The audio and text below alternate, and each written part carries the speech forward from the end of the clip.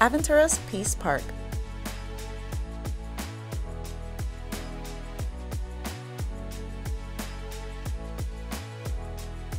Sitting on 188th Street alongside the Intracoastal.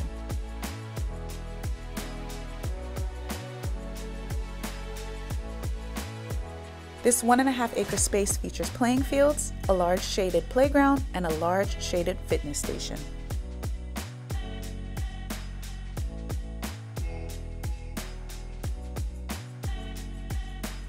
Let your mind be at ease in the serenity of Peace Park.